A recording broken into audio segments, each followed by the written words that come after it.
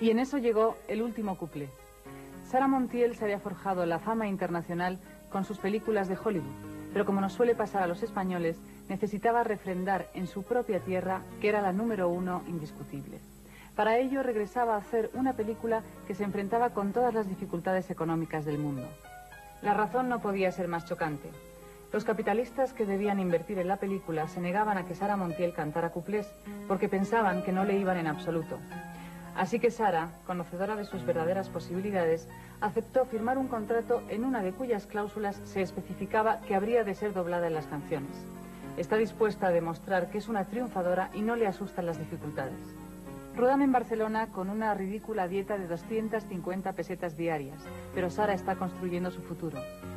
La película tiene tantos problemas económicos que Sara llega a actuar con vestidos de papel y otros prestados, como uno de la bella Dorita.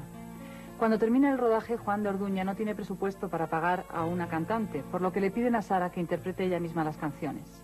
El maestro Solano tiene que cambiar los arreglos y bajarlos algunos tonos para adaptarlos a la tesitura vocal de Sara. El maestro llega a decir una original frase.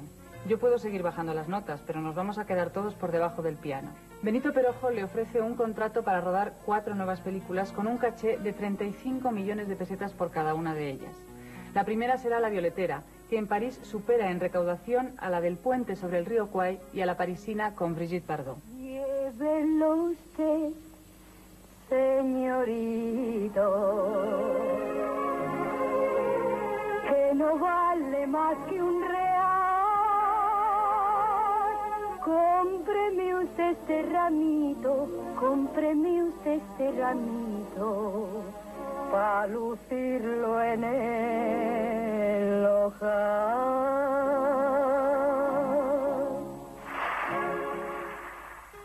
Brad Ballone es el coprotagonista de la película y se habla de un romance entre ambos, por lo que su marido, Anthony Mann, vuela a España para llevarla a América. Allí Sara pierde el hijo que esperaba después de casi ocho meses de embarazo. Regresan a España en barco y en el transatlántico Sara conoce a un joven senador, John Fitzgerald Kennedy, que le enseña a jugar al minigolf durante la travesía.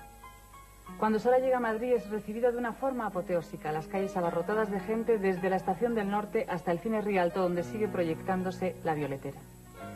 Anthony Mann y Sara se trasladan a Venecia.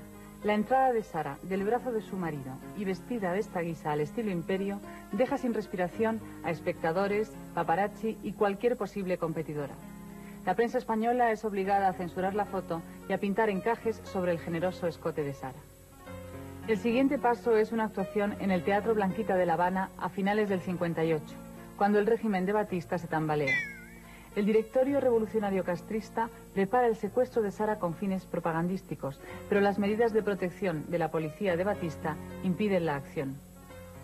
Anthony Mann y Sara están en crisis, por eso el director cinematográfico le sugiere a Sara hacer un viaje turístico para rehacer la relación. Contemplando los paisajes castellanos, Sara le sugiere a Anthony Mann que haga una película sobre el Cid.